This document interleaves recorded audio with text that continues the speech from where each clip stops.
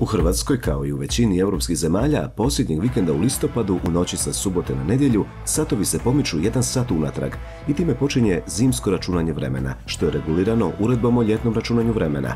Hrvatski autoklub upozorava vozače da tijekom zimskog računanja vremena na motornim vozilima za vrijeme vožnje i danju moraju biti upaljena dnevna ili kratka svjetla, kako je to navedeno u Zakonu o sigurnosti prometa na cestama. Mopedisti i motociklisti pak znaju da cijele godine moraju imati upaljena svjetla za vožnje na svojim motociklima.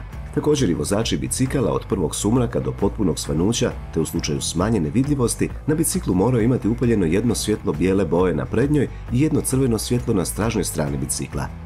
U slučaju nepoštivanja navedenih zakonskih odredbi, vozač će biti kažnjen novčanom kaznom od 300 kuna.